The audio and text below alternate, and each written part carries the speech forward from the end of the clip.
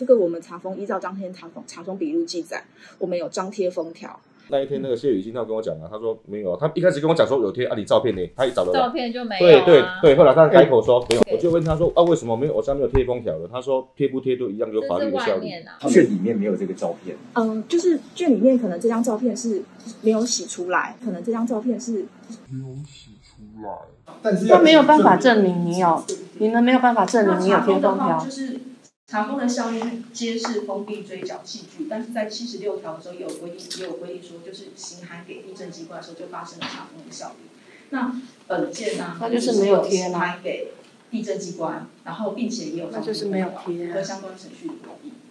你虽然有写现场贴红条，但是现场是哪个现场，对不对？然后贴在哪里？贴红条有没有这个事实？然后如何用证据证明？然后是不是贴红条有别人撕撕掉？那是别人，但在本案里头，你无从说空调是被他撕掉。